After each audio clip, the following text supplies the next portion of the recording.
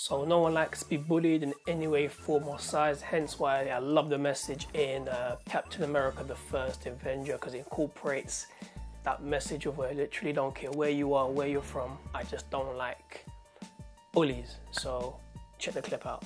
Do you want to kill Nazis? Is this a test? Yes. I don't want to kill anyone. I don't like bullies. I don't care where they're from. So the reason I wanted to put that clip out was because a lot of people have been bullied and are going through bullying. And, you know, I went through it because, quote unquote, I was different and I got picked on because of that.